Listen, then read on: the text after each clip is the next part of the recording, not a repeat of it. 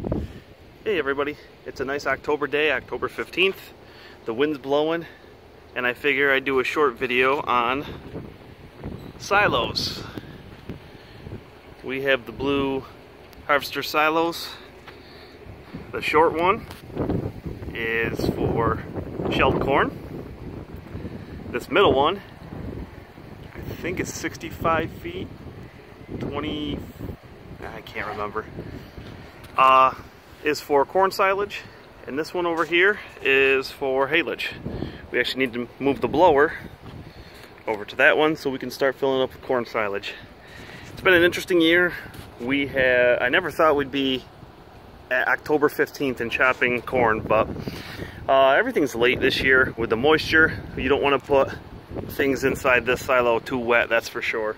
So what we did every year, what we've been doing for the past couple years is filling up an ag bag, um, 200 foot, 8 foot tunnel, 200 foot long ag bag with corn silage. And when everything runs out of, when we run out of corn silage in this silo, we have a bag that we switch over to. That way we can clean things out, uh, maintain what needs to be maintained, and fill this up and let it sit for a few weeks and by then the bag should be about done and we'll start feeding out of this again. So um, we have the self-unloading forage wagons. We pull up, we unload into there. Got a tractor on the front of this. Runs it all the way up to the top and drops it in from the top. The unloaders in here are in the bottom. Everything's sealed in these. Uh, they have breather bags. Uh, during the day, the silo will heat up and it will cause the bags to expand. And when it cools down, it'll contract. So there's breather bags. That's what these pipes coming out of here, these PVC pipes coming out of here run to the breather bags that we have in our hay mow. That way it doesn't cause this to blow up or cave in on itself.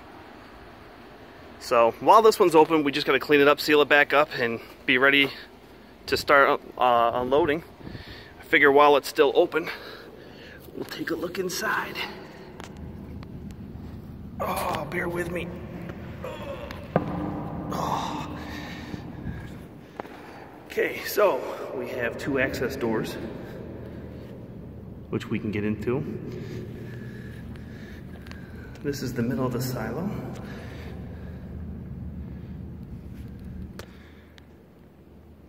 Oh, um, way up there is where it fills. So this is the silo unloader. That is the auger that takes things out to our conveyors. There's three switches on the panel. First one runs that auger. The second one turns this auger on. And the third one, which has a dial on it and controls your speed, it goes around and brings everything, drops down, and then into the barn. There really isn't a whole lot, but I figured since it's open, might as well check it out.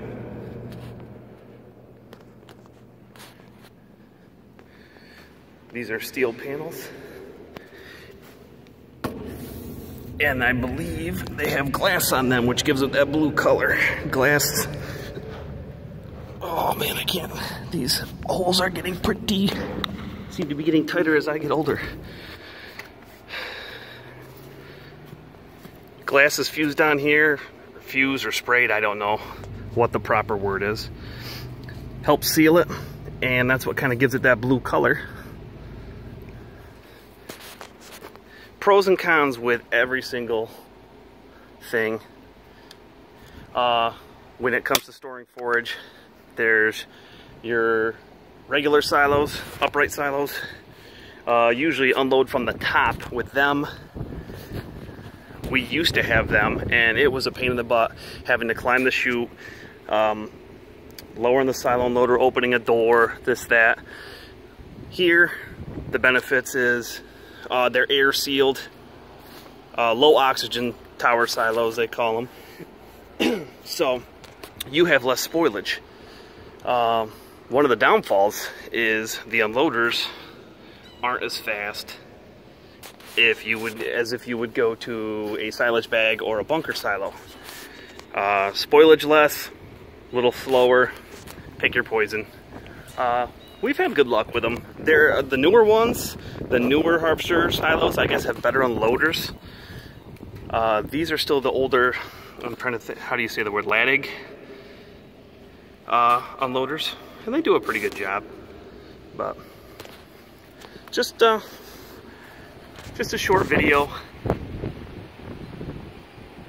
on the silos.